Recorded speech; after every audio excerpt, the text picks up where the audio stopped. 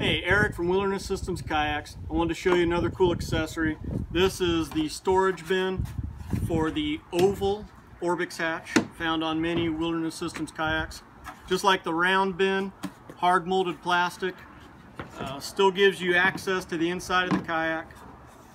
Uh, great for keeping items that you don't necessarily need all the time on the water. This and other great accessories can be found at wildernesssystems.com.